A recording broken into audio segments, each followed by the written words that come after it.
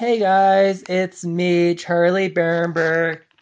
Um, last week I went to the doctor, so I had a injured knee, and she said I sprained it.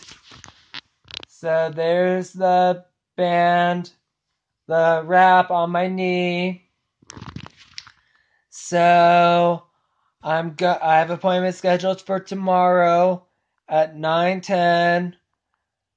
So we'll wait and see how it goes tomorrow. So I'm a little nervous to see what happens. Um they might throw me on crutches. They probably will throw me on crutches and they might say you need knee surgery or not knee surgery. So we'll wait and see what happens. So I'm nervous, so we'll wait and see what happens tomorrow, and I'll videotape tomorrow. So we'll wait and see what happens tomorrow. So I'm anxious to see what happens to this knee. Um, right now,